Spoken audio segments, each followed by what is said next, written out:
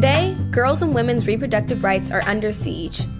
From the media to the courtroom, the classrooms to the streets, girls are more at risk than ever before.